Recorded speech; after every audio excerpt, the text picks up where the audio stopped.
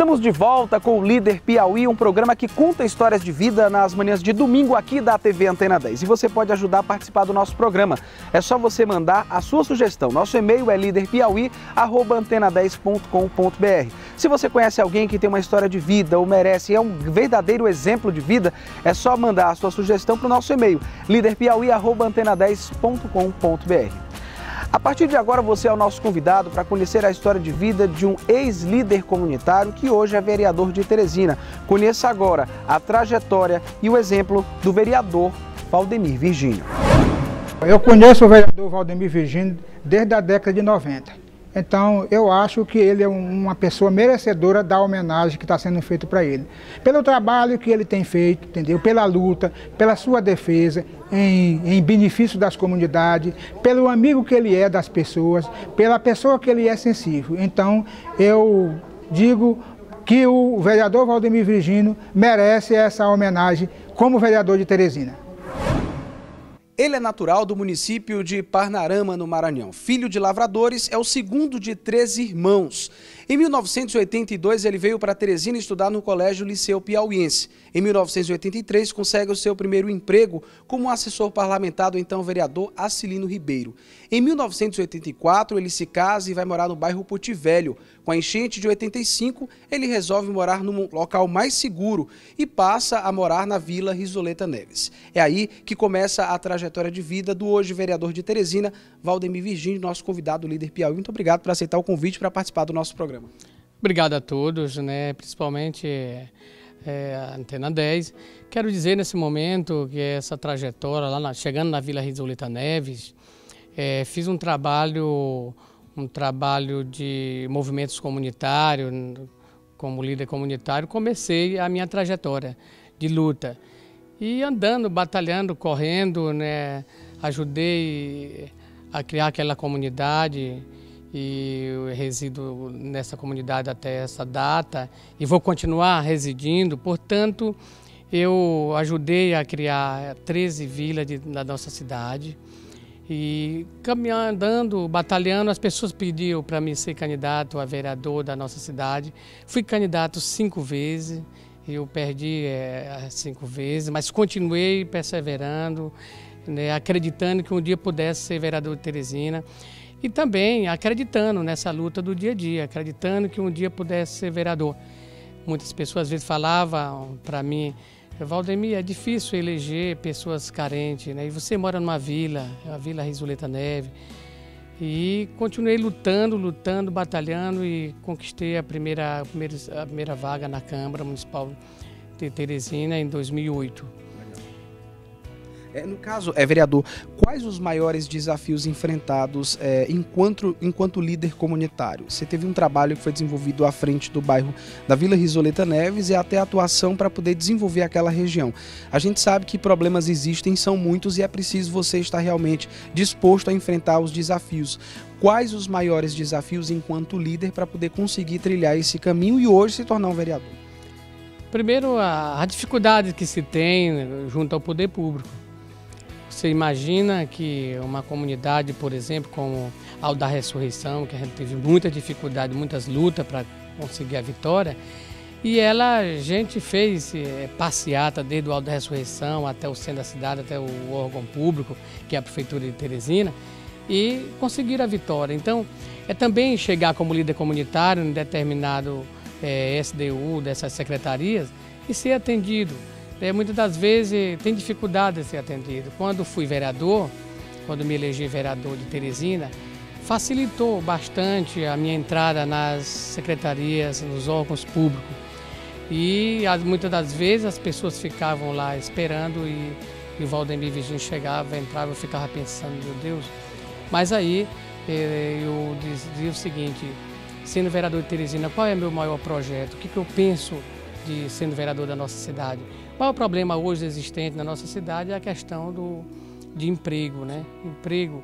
E aí Teresina é muito carente. E minha sugestão, minha proposta de luta foi a questão da instalação de fábrica, indústria na nossa cidade para gerar emprego e renda. Você imagina que eu tenho 13 irmãos, né? É, e aí, é, desses três, nós temos cinco em São Paulo. Por que, que eles foram para São Paulo? Porque Teresina tem dificuldade de, de, de, de ter emprego. Então, meu mote maior foi essa. Mas a questão básica para que eu pudesse me desenvolver bastante foi exatamente a questão da luta por moradia digna. Com, luta por moradia digna, principalmente na Vila Risoleta, né, que tem a grande dificuldade. E com isso foram 13 comunidades que ajudei a criar, através da, da federação que eu representava, que era a Uconorte, União dos Líderes Comunitários da Norte Teresina, e também participei da FANC, participei da FAMEP, de várias federações dos movimentos sociais, a família. Você tem algum pensamento de vida que te move todo dia quando, quando se levanta, é, que realmente hoje é mais um dia, hoje eu tenho mais uma grande missão? Tem algum, alguma filosofia de vida ou algo que te move para conseguir trilhar esse ofício? Primeiro, eu acho que uma pessoa humana, um ser humano, ele não precisa ter muitas, ter muitas riquezas para viver. Eu sempre penso isso. Não precisamos ter muitas coisas para viver. Nós precisamos ter saúde, paz, né? educação.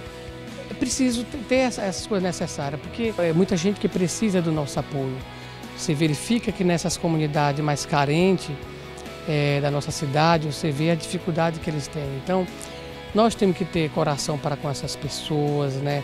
E ter também sentimentos, né? E esse sentimento é que move a gente no dia a dia. Eu lembro que uma vez a gente estava lá na Vila do Avião fazendo uma inauguração de uma rua, né? E pavimentação paralelepípedo. Uma senhora me encontrou e disse assim: Ô, seu Valmir, eu quero falar com o senhor. O que que era? Eu disse: Não, é porque eu gosto tanto do senhor que toda vez que você está na televisão, eu anoto o seu número e voto no senhor. Você ajudou a gente aqui na Vila Meio Norte. Aí eu é compensador, né? É, aí ela dizendo assim, oh, mas eu tenho uma coisa para dizer para o senhor, eu fiz uma homenagem para você. Eu tenho um filho que eu coloquei o nome dele de Valdemir. Muito legal. Isso faz você, né, é, lutar mais, cada dia está lutando, está perseverando e sabendo que sendo vereador da nossa cidade, a gente contribuiu muito, mesmo sendo, não sendo vereador tem contribuído muito com a nossa cidade. Tem pessoas desse tipo que agradece a gente, parabeniza por essa forma de trabalhar. E o programa Líder Piauí conta com o apoio do Sebrae. Veja esse recado.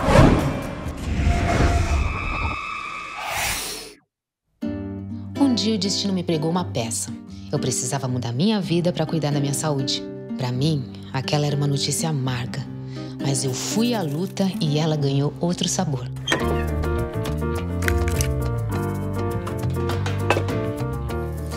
Quente. Bonzão, hein, mãe? Você podia estudar bem vendendo bolo. Oi, Dora. Oi. Ó, dona Lola, tô fazendo bolo pra fora. Se a senhora precisar, é só encomendar. Dora, é pra uma festa do bairro. Dora, é pros 15 anos da minha filha. Dora, é pra um casamento muito grande. Posso ser honesta? Eu até queria, mas eu não tô dando conta. Eu não tenho ajudante nem nota fiscal. Não vai dar. Desculpa. Mãe. Eu sei, meu filho, a gente precisava desse dinheiro. Não, mãe. Daqui é um lugar que eu acho que pode ajudar a gente a formalizar. Formalizada, você pode emitir nota, ter CNPJ, direito à aposentadoria. Isso tudo por um pouco mais de 30 reais por mês. Você vai poder até contratar sua ajudante. Contratar? Não sobra dinheiro para isso? E se você criar um produto mais barato? Você vai vender mais e vai ter mais resultado. É, o Sebrae me deu uma ideia e eu criei o Bem Casado da Dora, com direito a site e tudo. Mãe, o site está lotado. São 4 mil bem casados em 4 dias. Mãe, querem a senhora no prêmio de empreendedora do ano. Esse prêmio é o fruto de um doce sonho. Hoje eu sou uma microempreendedora individual, com muito orgulho. Formalizar foi o primeiro passo. Você tem que adquirir novos conhecimentos para correr atrás dos seus sonhos. E através desses conhecimentos é que eu vou chegar lá. Existem milhões de Doras pelo Brasil e o resultado dessas histórias é a nossa razão de existir. Sebrae, especialistas em pequenos negócios. No quadro Líder de Ronda, hoje nós temos uma convidada, uma verdadeira estrela da comunicação do Sebrae Piauí. Hoje nós receberemos a jornalista Graça Batista. Está no ar o quadro Líder de Ronda. No quadro Líder de Ronda, hoje nós temos uma convidada mais do que especial. Ela que é jornalista, já passou por diversos veículos de comunicação do Piauí, TV, rádio, jornal e há 20 anos somando história, hoje ela está à frente da comunicação do Sebrae Piauí, grande parceiro do nosso programa. Hoje nós temos a honra de receber Graça Batista. Seja bem-vinda ao quadro Líder Muito de Ronda. obrigado. O líder de Ronda é líder de audiência. Né? O programa é muito bacana e esse quadro é perfeito. Que bom! E a gente sempre traz, Graça, toda semana convidados para conhecer um pouco mais sobre os carros da Honda, esse que a gente está circulando para você que está em casa. Eu queria comentar um pouco, Graça, sobre esse carro. Esse é o New Civic, versão 2015. Já é um carro top de linha. Ele tem câmbio automático, ele tem o controle de ajuste de som no volante, ele tem o ar-condicionado digital com controle de temperatura, ele tem o sistema Bluetooth, ele tem um grande diferencial hoje que é conhecido como o sistema Econ. Esse botãozinho verde aqui, é, a gente acionando, ele proporciona uma dirigibilidade, a gente pode dizer, de uma forma ecologicamente correta. Quer dizer, a Honda sempre pensando na preservação do meio ambiente sem você abrir mão de andar numa super máquina. Um conforto. Um conforto. Para um clima de Teresina, esse clima interno aqui, então, acho que dispensa comentários. É show.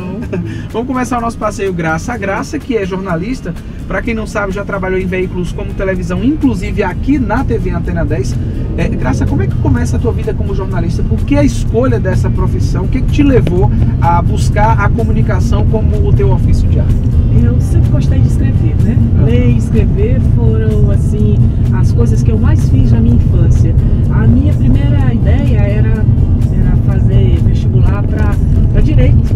Eu, eu estava na fila para escrever, me, me inscrever para direito, e aí deu aquele insight. Comunicação, na época, estava muito, tava muito Tava muito novo, né? Muito novo o curso de comunicação, eu sou da segunda turma. Legal. E aí me inscrevi, a concorrência era grande, passei e desde então me apaixonei pelo, pelo jornalismo, passando a atuar em, nos diversos veículos, como, como você falou, nos diversos meios. Sim. E há 20 anos atuando no Sebrae, em assessoria de imprensa, foi uma mudança de vida muito grande, porque eu trabalhava em televisão e as pessoas me perguntavam assim, mas você vai deixar o vídeo?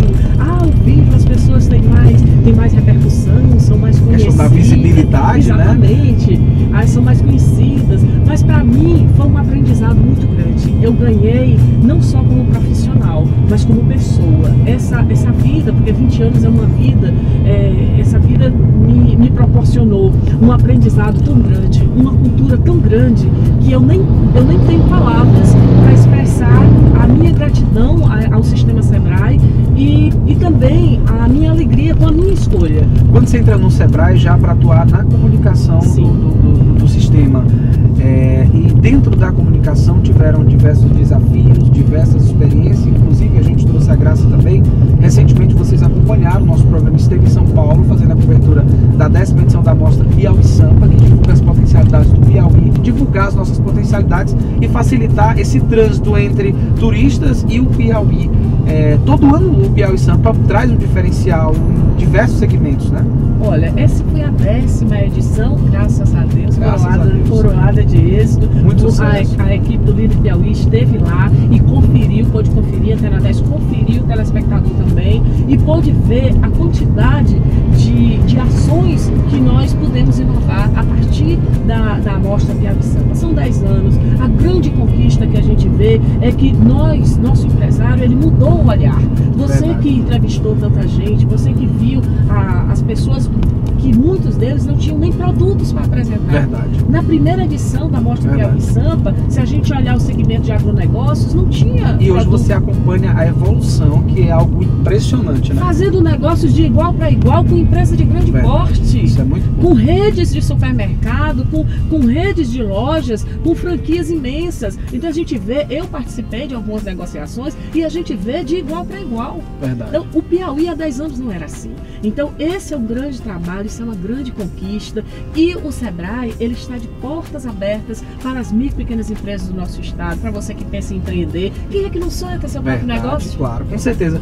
Graça, antes da gente encerrar, eu acredito que depois a gente ter toda essa conversa, não resta dúvidas que você é uma grande apaixonada pelo Eu Sebrae, sou. né? Eu sou uma muito apaixonada, porque ídolo, quem vai, é, não é só de olhar de longe, é quem, quem vai É participar, Quem é vai ao campo e vê no, no olhar de cada um o brilho do olhar de cada um, o que eles têm de amor pelo que eles fazem, isso é muito bacana. É surpreendente você ver aquelas pessoas que, que veem no trabalho que elas realizam a grande, a grande realização da vida dela, o, o sonho, tudo que ela colocou em dia está ali e ela, e ela trabalha com prazer, trabalha com amor. A gente tem projetos muito bacanas e isso a gente é, fica feliz de poder contribuir.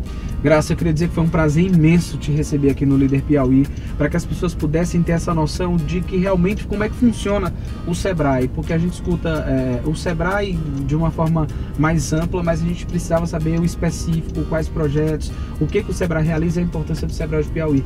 Muito obrigado por ter aceito o nosso convite para participar do programa e o Líder está de portas abertas para sempre que você precisar e para a gente continuar divulgando tudo que tem de melhor e potencialidade do Sebrae aqui no nosso programa. Ah, Ítalo, eu só tenho a agradecer o programa é muito bacana e o Honda é fantástico, Você adorei. É uma máquina, né? É uma máquina, adorei. E realmente, quem, quem faz o que gosta, eu faço o que gosto, você faz o que gosta. A Verdade. gente trabalha realmente com muito mais amor e com esse sorriso lindo que você tem. Parabéns, né? Parabéns à TV Antena 10 por ter você como grande profissional. Que eu bom. digo isso sem, sem nenhuma, é, sem nenhuma outra é, intenção a não ser em prestigiar a- essa pessoa bacana que é você. Eu fico Parabéns. feliz e prometo que da próxima vez eu vou lhe dar um Honda de presente.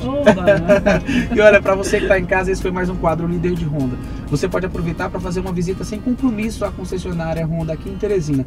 Funciona de segunda a sábado em horário comercial. Jet Veículos, a sua concessionária exclusiva Honda aqui em Teresina. Olha, você não pode perder no próximo bloco. Nós vamos conversar com a jornalista, pesquisadora e historiadora Marta Tágira, que lançou um livro que retrata a história do comércio de Teresina no desenvolvimento do Piauí. Programa Líder Piauí vai para um rápido intervalo comercial e a gente volta já.